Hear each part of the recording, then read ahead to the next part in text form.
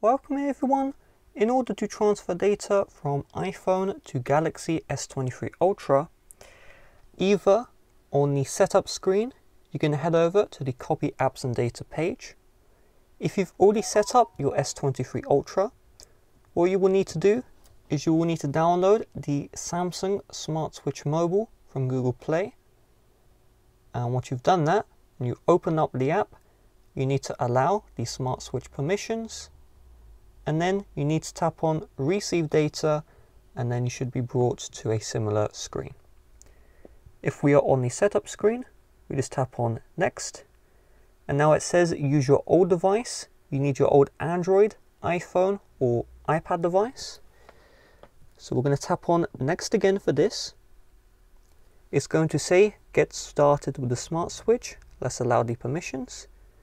And then we see here select a source. You should see the same screen if you're using the Smart Switch app from the Google Play. So we're just going to select the iPhone slash iPad here. And now it says connect to iPhone or iPad. So in my case, I need an adapter for this. This is because if I get the charging cable for my iPhone, the charging cable is USB type A.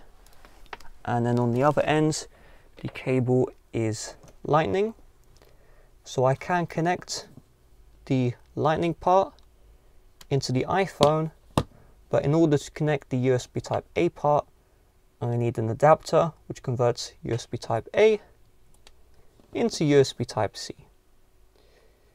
If you have a USB-C to lightning cable you do not need any adapter and if you don't have an adapter you will need to buy one from Amazon. They should only cost £3, $3. They're very cheap.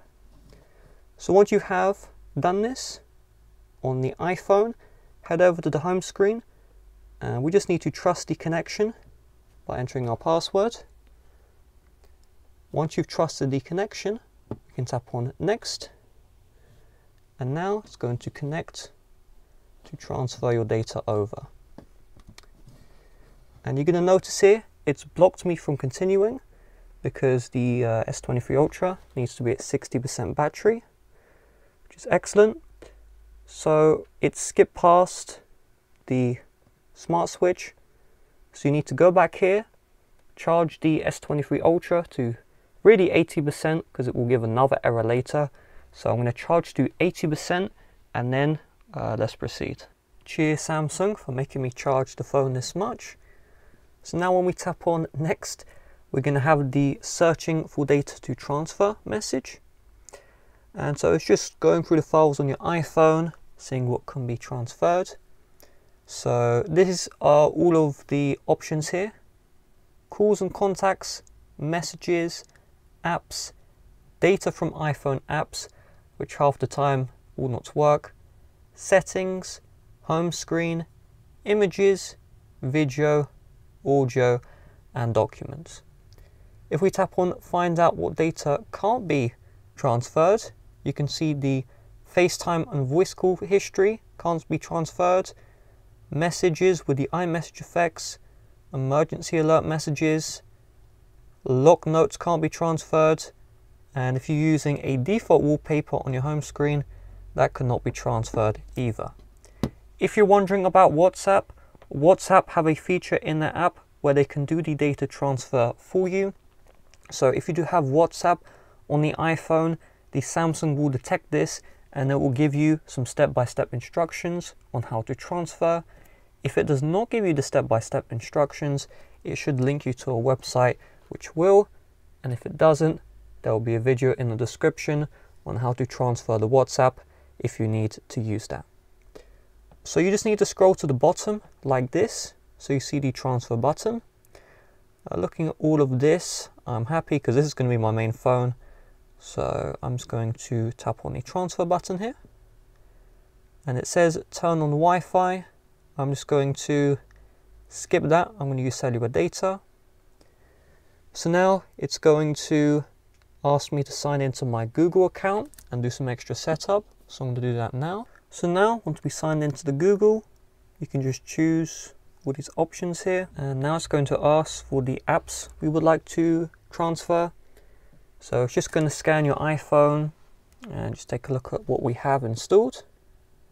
So you can see it has detected 77 apps like this. These apps of course will come from the Google Play. So we'll just tap on the install here and then transfer WhatsApp chats. You can see these are the step-by-step -step instructions. I will have a separate video on this because uh, I'm going to tap on don't transfer. But what you do on the iPhone, you open up the camera, you see the QR code. We're just going to scan this, trying to get that QR code to get scanned. There we go, you see open on WhatsApp, you tap on that and then follow the on-screen instructions. So I'm going to tap on don't transfer and now it's going to start the transferring of data. The data is now transferring in the background and we just need to finish setting up the S23 Ultra while the transfer is going on. Once we are on the home screen here, you're going to notice that there's no photos, nothing is really transferred. So we just need to now open up the Smart Switch application and you can see it's now doing the data transfer. I recommend you just tap on keep screen on and just wait for all of the information from the old iPhone to be transferred over to your new Samsung uh, S23 Ultra. So with that being said, cheers for watching. If you want to help support the channel, please do check the description, many ways to do so.